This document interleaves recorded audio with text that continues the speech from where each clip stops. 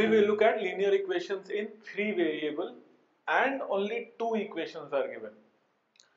अभी इसको सॉल्व करने के पहले एक दो बात यहाँ पे अपने को समझना पड़ेगा। सबसे पहला going back to linear equation in in two variable not in three variable हम लोगों ने अभी आपको सॉल्व किया था कि लेट से अगर कोई पूछे कि two X plus three Y equal to five इसको बोले सॉल्व करने को तो आंसर क्या देंगे? हम लोगों ने डिटेल में बात भी किया, किसका answer is not can not be determined इसका आंसर इनफाइनाइट सोल्यूशन है। वो क्योंकि x का जो भी वैल्यू वो लोगे, उसके करस्पॉन्डिंग में एक y का वैल्यू मिलेगा और वैसे करके इनफाइनाइट सोल्यूशन मिलेंगे। हाँ तो अगर आपको दो वेरिएबल है और एक ही इक्वेशन दिया है तो आंसर हमेशा इनफाइनाइट नंबर ऑफ़ सोल्यूशन होता है। लेकिन, इसी में हम लोगों ने चेक किया अगर दो अलग अलग स्लोप वाले लाइन हो गए तो इन दोनों का यूनिक सोल्यूशन मिलेगा, जो कि इन दोनों को सेटिस्फाई करेगा। अभी इनफाइनाइट सोल्यूशन नहीं मिलेगा।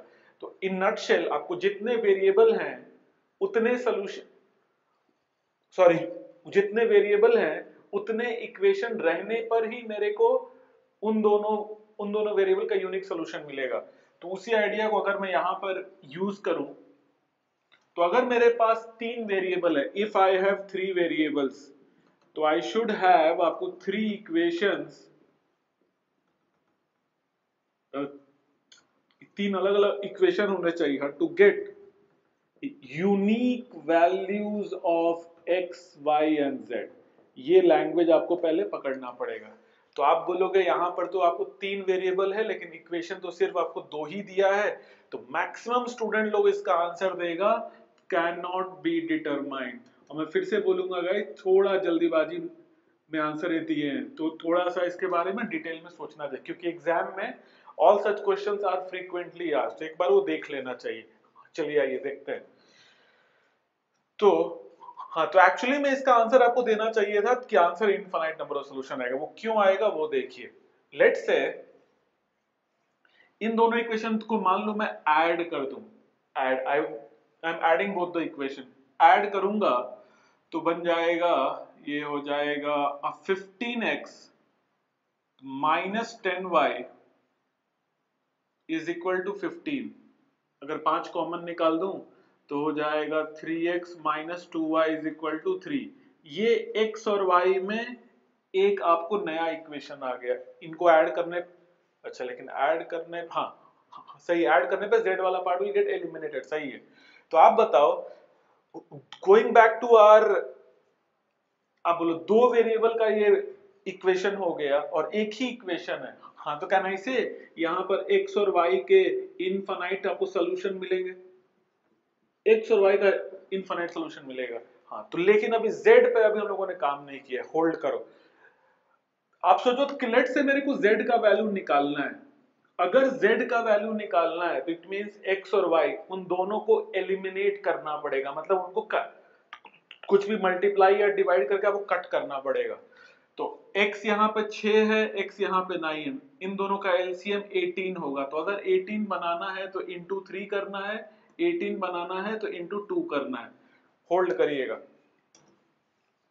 तो अभी मैंने इसको तीन से मल्टीप्लाई कर दिया तो बन गया 18x X minus twelve Y plus three Z equal to thirty और ये बन गया 18x एक्स माइनस आपको twelve Y minus two Z is equal to ten अभी अगर मैं इन दोनों इक्वेशन को सब्ट्रैक्ट कर दूँ माइनस प्लस प्लस माइनस तो ये जाएगा, ये भी जाएगा और ये बन जाएगा, होगा five Z is equal to आपको 20 तो z का वैल्यू देख लो, मिल गया। Z का वैल्यू आ गया 4 आ गया।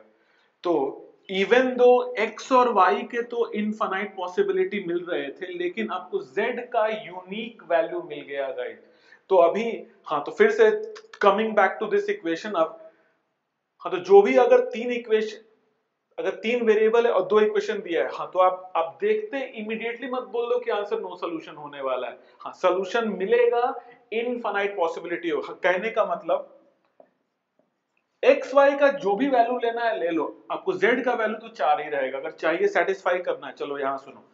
वो भी सेटिस्फाई कर लेते हैं। मान लो मैंने y का वैल्यू यहाँ पर ज़ीरो लिया। अगर y का वैल्यू ज़ीरो लूँगा तो x का वैल्यू वन आएगा राइट ये करेगा सेटिस्फाई अभी आप बताओ ये वैल्यू x का वैल्यू एक बार यहाँ डालो x यहाँ डालोगे वन तो ये बनेगा छ और y का वैल्यू है ज़ीरो तो ये तो ज़ीरो रहेगा, और z का वैल्यू है चार।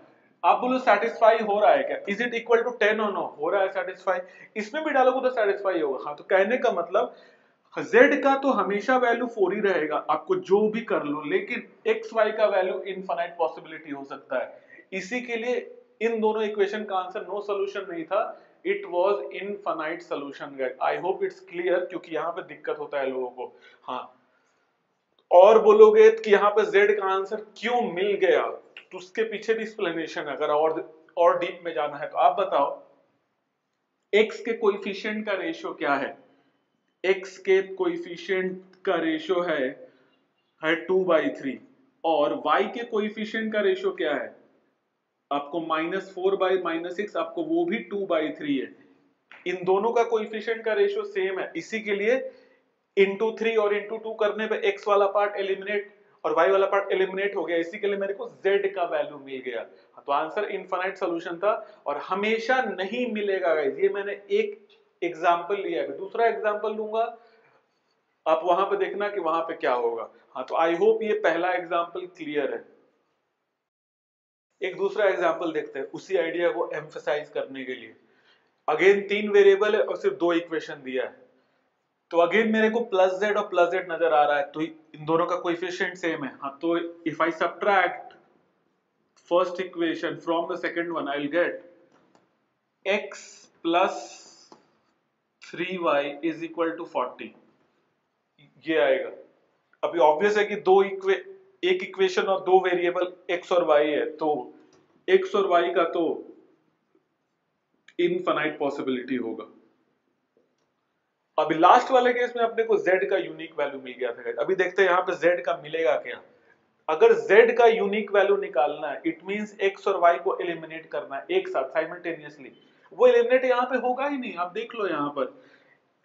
इन दोनों को सेम करना है मतलब इसको चार से मल्टीप्लाई करना है, इसको तीन से मल्टीप्लाई करना है। आई होप आप कर पाओगे ओरली तो अगर मैं चार से करूँगा तो ये बनेगा ट्वेल्व और ये बनेगा ट्वेल्व हाँ चलो माइनस करूँगा तो एक्स तो कट जाएगा. इसको चार से करूँगा तो ये बनेगा ट्वेंटी एट और ये बन जाएगा थर्टी बन जाएगा. वो तो एलिमिनेट नहीं होने वाला. इट मीन्स करने पे क्या मिलेगा वो देख लो. ये हो जाएगा आपको ट्वेल्व एक्स प्लस आपको twenty eight y plus four z equal to four hundred और ये हो जाएगा आपको twelve x plus thirty y and plus आपको three z is equal to आपको 420 तो माइनस करूँगा माइनस माइनस माइनस माइनस तो ये बन जाएगा minus two y and plus z is equal to minus twenty तो ये तो y और z में एक नया आपको दो, एक नया दो वेरिएबल का इक्वेशन बन गया। इट मींस y और z का भी इनफाइनाइट पॉसिबिलिटी होगा। हाँ तो आप सोचो कि लास्ट वाले केस में आपको z का यूनिक वैल्यू मिल रहा था और x, y के इनफाइनाइट पॉसिबिलिटी मिल रहा था। यहाँ पर x, y, z, इसमें से मैं किसी का यूनिक वैल्यू नहीं निकाल सकता हूँ। All of them are going to be infinite possibility तो it's not it's not necessary कि हमेशा एक का वैल्यू मिल ही जाएगा। वो गारंटी नहीं है गाइस हाँ तो वो इसी के लिए जनरलाइज मत करो। हाँ सिर्फ़ ये बोल सकते हैं गाइस ऐसे सारे सवालों में कि whenever there are आपको three variables and only two equations are given, answer will be infinite solution. हाँ कहीं कहीं पर एक्स वाई जेड में से किसी एक का वैल्यू मिल जाएगा और बाकी दोनों का इन्फाइनाइट पॉसिबिलिटी होगा। और कोई कोई केस में, जैसा कि इस केस में हम लोगों ने देखा, इनमें से किसी का भी यूनिक सोल्यूशन नहीं मिलेगा, वो सारे के इन्फाइनाइट पॉसिबिलिटी होंगे। तो वो सारे केसेस अपने को ध्यान में रखना पड़ेगा। तो इसी आइडिया पे अभी तीन चार सवाल चेक करेंगे सो दैट की आइडिया आपको एम्फेसाइज अच्छे से समझ में आ जाए कि मैं क्या बोलना चाह रहा हूँ। तो अभी इस पर आपको करते हैं। दो तीन इक्वेशन वाले सवाल जो कि एग्ज़ाम में भी उस टाइप के सवाल आए हुए हैं। उसके बाद ही आगे बढ़ेंगे।